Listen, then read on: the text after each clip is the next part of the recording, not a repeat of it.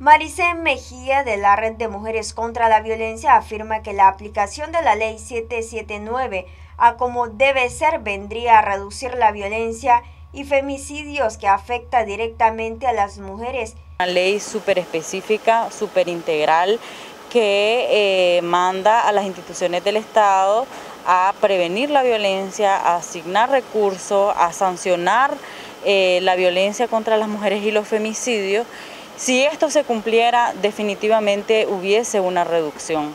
Eh, nosotras también nos enfocamos mucho en la prevención de la violencia, eh, políticas públicas que eduquen eh, para sensibilizar, para prevenir, para que la gente se dé cuenta de la magnitud y el daño que tiene la violencia y los femicidios en las familias nicaragüenses y a nivel mundial. Pues eh, estamos ante una problemática que afecta directamente la salud de las mujeres y que necesita de respuestas rápidas, respuesta urgente, eh, de sanción principalmente. Cero impunidad a la violencia, que las mujeres puedan tener acceso a los servicios, acceso a los recursos, eh, donde se les pueda escuchar a la hora de, poner una denuncia, donde puedan tener acceso a acompañamiento de calidad. Con todas estas acciones, eh, si hubiese voluntad política, si hubiese eh, prioridad verdad de atender esta problemática, definitivamente hubiese una reducción.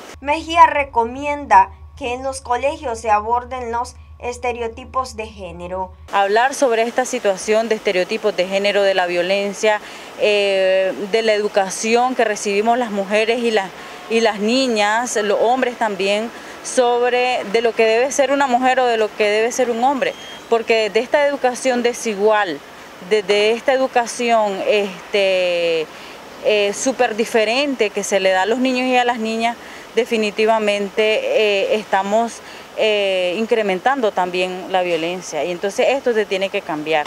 Mujeres católicas contabilizan alrededor de 38 femicidios al mes de junio. Noticias 12 Darlene Telles.